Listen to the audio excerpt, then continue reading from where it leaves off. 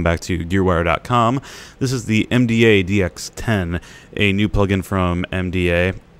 I think this has actually been out for a while, but I found this while looking at the new Image-Line edition of uh, the DX10 VST, which is a little more complicated than this. However, this is a completely free plugin, so it's very useful for those of you out there who want that early, early uh, DX FM synthesis sound. Uh, here I have a scratch pad loaded, but there are plenty of presets loaded up. I can load up a bass.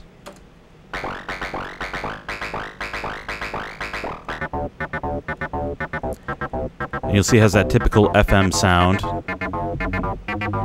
Not quite as deep and uh, full formed as an analog sound. But on the other end of that, these are also very, very clean sounds.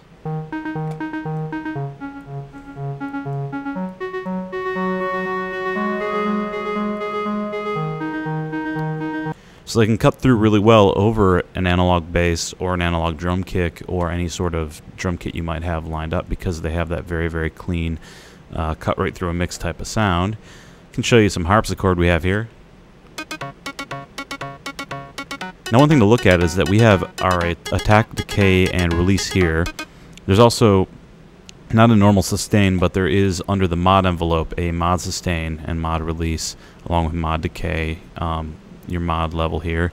Mod velocity, vibrato, octave control, fine tuning, waveform, mod through, LFO rate, and fine and coarse tuning. Um, not the most sophisticated control in the world, but it really gets the job done when you're just trying to use some of the sounds that are available in here.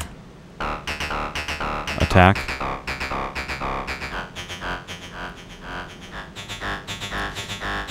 A decay, of course, creates a decay and a release.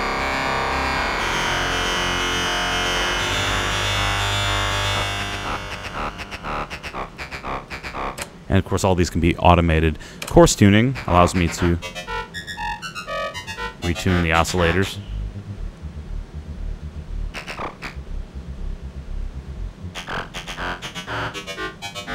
Again, it is a very coarse tuning, so if we want to fine tune those, we use this here.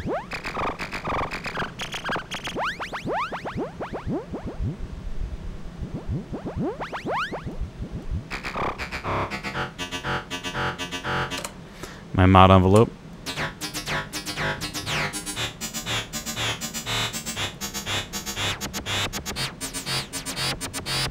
Velocity. Here we have vibrato. Octave control.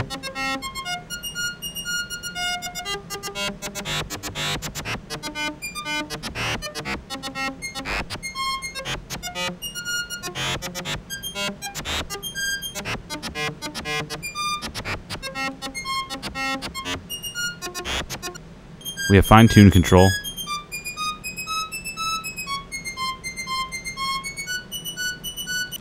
Then there's the waveform control, which changes up the waveform. Mod through,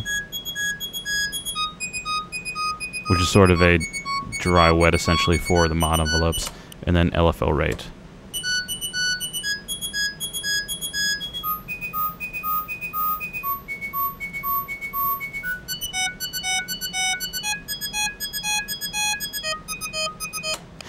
Looking at this really quickly, you'll notice we can also have uh, drum patches out of here. It's log drum, synthetic tom.